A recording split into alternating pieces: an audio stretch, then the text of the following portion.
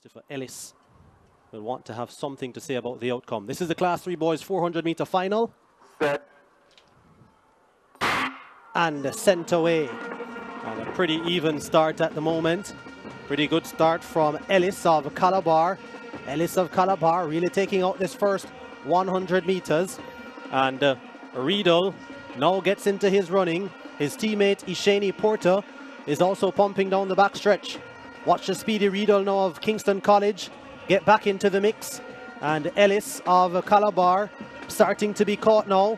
Here is the commanding Jordan Riedel, who has looked so good throughout the heats. It's Riedel who charges ahead, spurred on by the KC faithful as they enter the home stretch. Jordan Riedel is looking very good at the moment, but Christopher Ellis has responded. Calabar's Ellis now marches to the front. What a performance this is from Christopher Ellis of Calabar. Takes the gold medal. KC get bronze and silver, but no doubting about the gold. Green and black is the gold medal is clad in, and it's in the name of Christopher Ellis. Christopher Ellis says, don't count me out just yet, Jordan. We, the Lions, are still here, still hungry, still prowling. And he launched a brilliant attack over the last 100 meters. Gives the camera people the number one sign. Big performance from him, upsetting the field.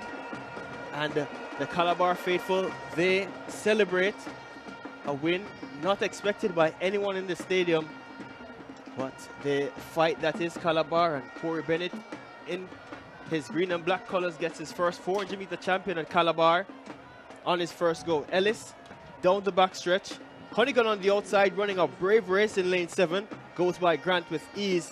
Ellis now in position and response to Riedel's assault with 150 meters to go. Riedel senses that he's in command, steps dominantly into the home stretch, but Ellis now five meters down. Riedel begins to buckle, feels the pressure, the competition getting to him. Ellis remains composed and steps through easy and cruises to Corey Bennett's first 400 meter win on the boys' side.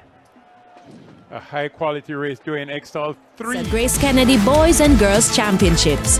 Exclusively on TVJ, TVJSN, and OneSpotMedia.com.